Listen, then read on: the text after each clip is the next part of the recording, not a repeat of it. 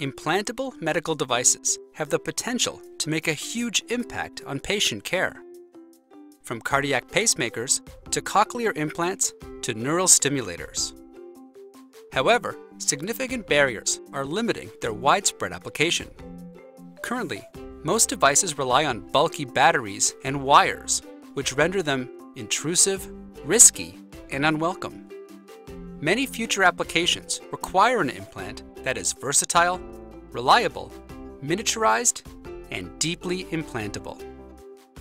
Professor Arbabian and his lab at Stanford University are developing a new generation of micro-sized, wirelessly powered implants using ultrasound. Ultrasound has many advantages as a power source.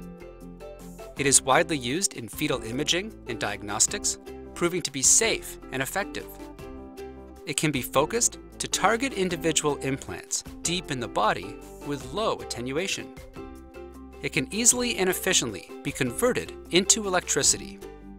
And it can enable bidirectional communication into and out of the body, creating a smart network of implants thereby improving medical diagnostics and treatments.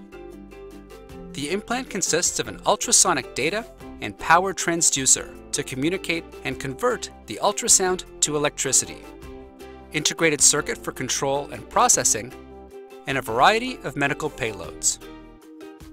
For instance, the payload can be a sensor, which monitors various health parameters.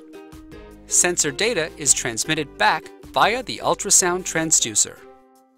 The payload can also be a stimulator, which applies therapeutic impulses, or a module for on-demand, targeted drug delivery.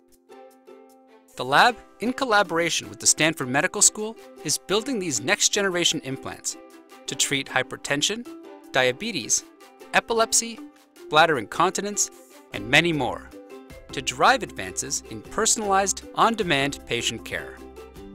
For more information, visit us online